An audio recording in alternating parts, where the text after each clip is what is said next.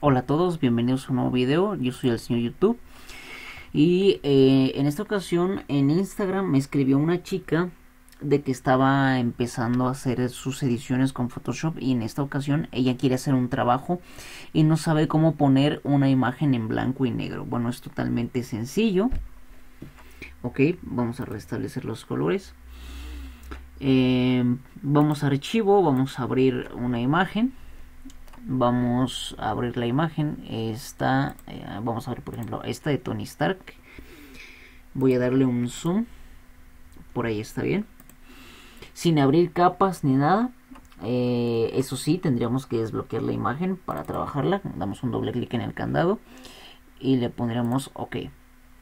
Para esto eh, nos, nos, nos vamos a este iconito que sería este la mm, eh, la capa de relleno o capa de ajuste. Damos un clic ahí. Y nos iríamos a tono saturación.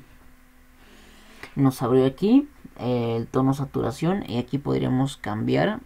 Ven que si yo hago esto en la luminosidad, pues me pone este más tenue o más oscuro pero nosotros queremos eh, ponerlo a blanco y negro entonces nosotros lo que haríamos es bajar la saturación más o menos por ahí así o en su defecto la bajaremos toda y así es como crearíamos una imagen en color blanco y negro así que nada pues eso es todo espero que les haya gustado el video no olviden suscribirse al canal, darle like, comentar.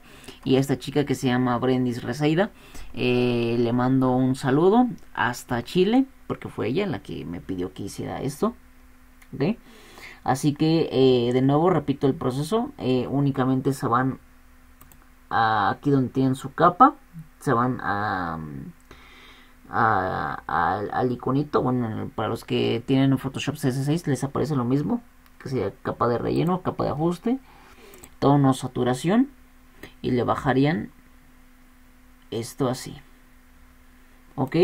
Le bajarían la saturación a un menos 100 ok en la luminosidad se la dejan tal y como está para que no le muevan otra cosa. Y así harían un efecto en blanco y negro. Obviamente aquí se ve un poco mal la imagen porque está en, en, calidad baja pero eh, así estaría. Ok así que eso sería todo.